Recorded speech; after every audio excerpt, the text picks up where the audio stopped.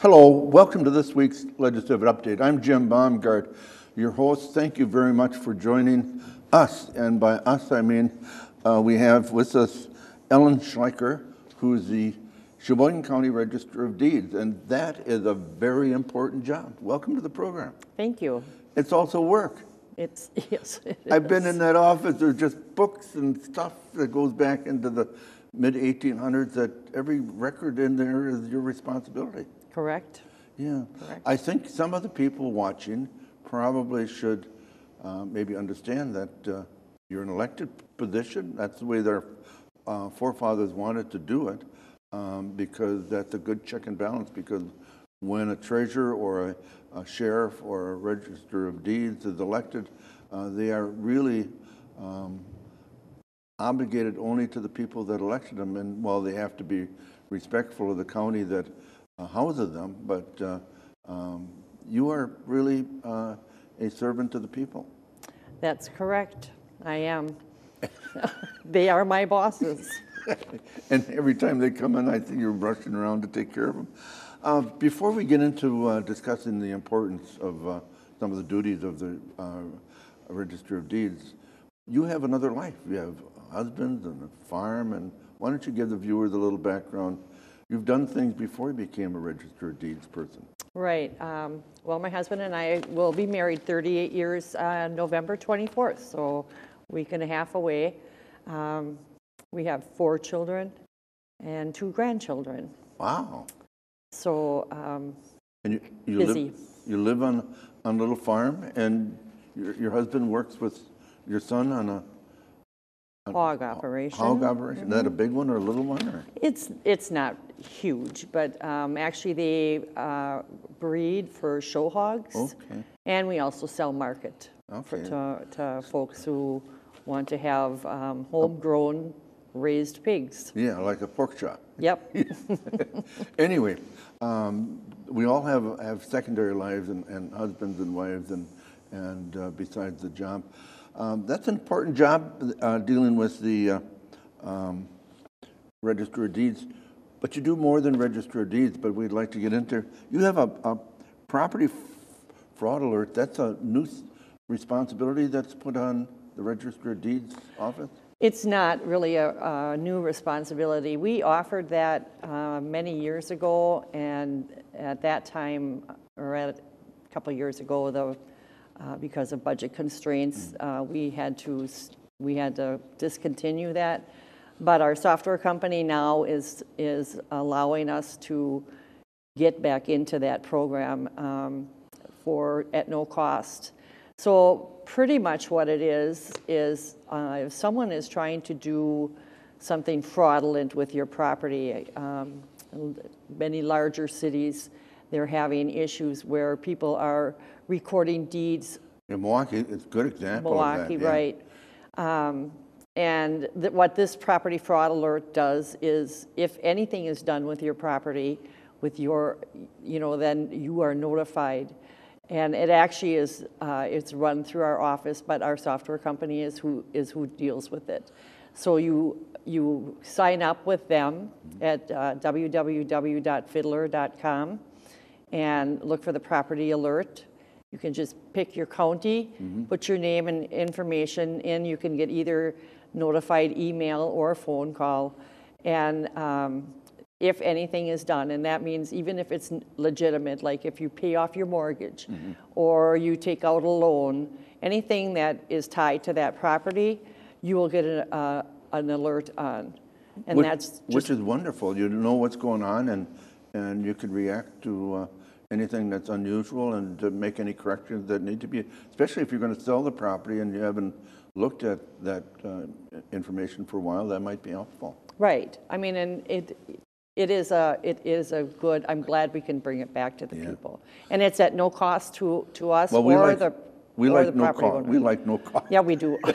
You don't get very much free No, anymore. and, and, you know, anytime you talk about raising, uh, you know, the- the taxes and, and prices of cars and other things go up, but it's, you know, it's, it's a tough thing to do. And even when you, the car prices go up a thousand, nobody wants to buy a car sometimes. Correct. Birth certificates, you take care of that. birth certificates, Marriage marriage, cer- certi- marriage certificates, death certificates, and as of. That's sort two- of a final thing, though, isn't it? It is kind of, well, it's a circle of life, I Yes, guess. sure. Um, And as of uh, January 2017, we also now can issue divorce certificates. I mean, if somebody's going to get divorced, they can come and get one? If or- they are divorced. Oh, I see. No, I knew with the Right, answer yeah. already. but- They can, So um, uh, I suppose you have to sometimes prove that uh, you, if you were married at one time and now divorced, that if you're going to buy a house or a car or something, sometimes you have to prove that you are independent, I suppose. it is, I, I think more for when they want to get remarried, Oh, I see. um, then they have to show that they are divorced. Okay. They have to show that, that, that paperwork. Bigamy is not allowed in Wisconsin, Right, apparently. yeah, well, I think federal, federal. Yeah, that's- no, I'm sure. Yeah, But uh, uh, that's good for somebody to know. Um, The, uh, um, uh, one of the things that uh, you, you deal with is also veterans that uh, are uh, leave service. They can record their veteran uh, DD 4 214. 214. Their discharge papers are filed in our office.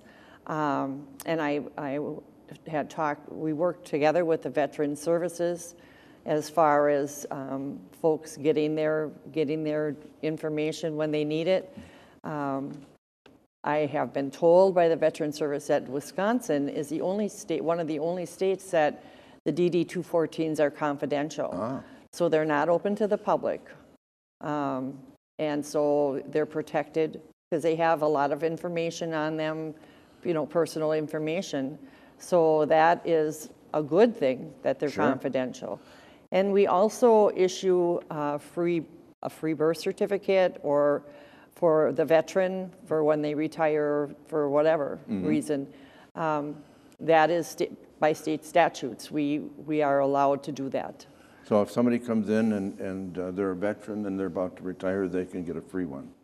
Yes, so we usually tell them to go through uh, Veteran Services, and then Veteran Services will request it. Um, And part of that is because there's a lot of programs that they may be eligible for.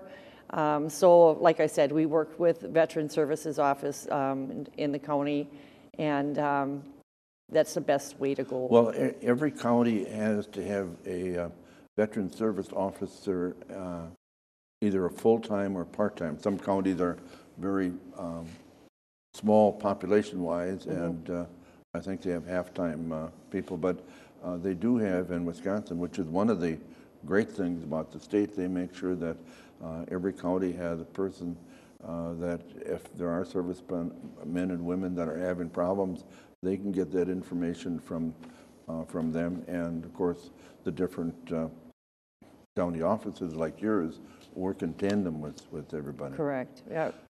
Now, the uh, um, types of other things that you do uh, is what at the, uh, you have a staff of how many? Uh, Six, All right.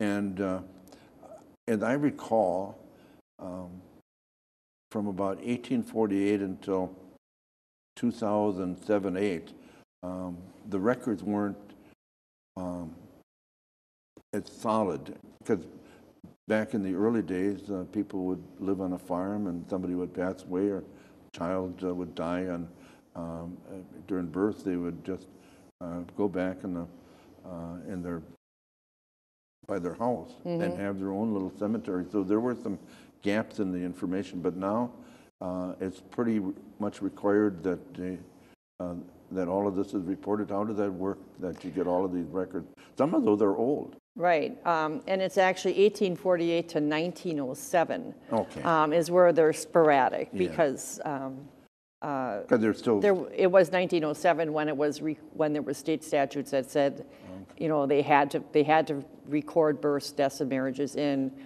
a county office or a city at that time, because City of Sheboygan, you know, did the City of Sheboygan, just mm. like City of Milwaukee does. But when they got rid of their health department, all those records came to our office.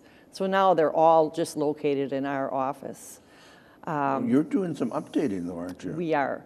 Uh, We have Those are old books, I've seen They are they're old huge. books, and we have old, old records that we uh, were so brittle, um, marriage, birth, and death records, that we did scan them, get them scanned in and digitized, and we're working on, uh, they're all in the computer, so, you know, we can access those records without having to damage, So you you don't the have to go paper. in and, and turn pages anymore, because you're right, some of that uh, paper they used was, you know, probably good paper, but uh, not uh, paper that was intended to last 200 or 300 years. Correct. Correct, Of course, I'm not sure if digitals are made to last that long. Well, we hope, Yeah. you know, and that's part of my uh, responsibility is to ensure that if there, what records we do now have uh, scanned in and in, in the computer, that when programs change as technology advances, we have to ensure that we move that into the new, new technology. 'Cause we did run into some glitches with that. Um, But, you know, we were able to make sure that we had our records, and, and they'll always be in paper form, but the damage is now with people paging through the books, Yeah.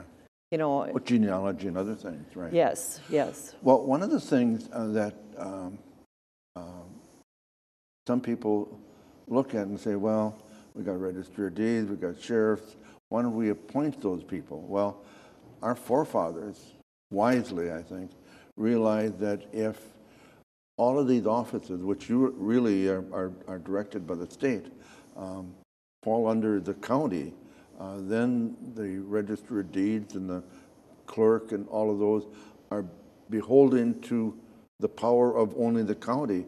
The elected person, like you are, you're obligated to be responsible to the county and the, the committee that uh, overs- oversee you, but you're also independent uh, by the elected person. You don't have to uh, jump to a tune necessarily if somebody is going to try to do something that maybe looks wrong. Right. And that um, happens. It does happen, and um, it, I'm happy that I can look out for my constituents, um, for the voters. That, they, they really are my concern. Um, My loyalty is to them and to, and to try and do the best for their interests, not just one person. Right. Um, It's, uh,